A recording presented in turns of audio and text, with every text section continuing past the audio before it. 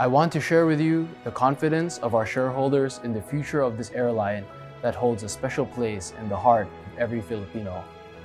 Allow me to read this message from my grandfather, Dr. Lucio C. Tan, the Chairman and CEO of Philippine Airlines. Dear customers and partners, way back in 1993, I purchased a controlling stake in Philippine Airlines when the government privatized the flag carrier. It became my commitment of a lifetime to build up the airline into a flag carrier that all Filipinos could look up to with pride. On the 80th anniversary of Philippine Airlines, my family and I make this renewed commitment to you. We will complete the recovery of Philippine Airlines. We firmly support the management and employees of PAL as they undergo the restructuring process. Together, we will deliver an airline with a reorganized balance sheet a streamlined workforce, and a renewed sense of mission.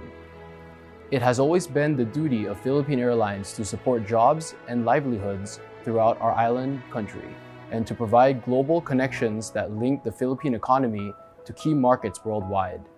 In times of national crisis, we are here to serve the Filipino people. Today, I give you this assurance. Like the Philippine flag, we will continue to stand tall and strong, the national carrier and premier airline of the Philippines. Philippine Airlines will keep flying, now and long into the future. Thank you for your continued support and trust.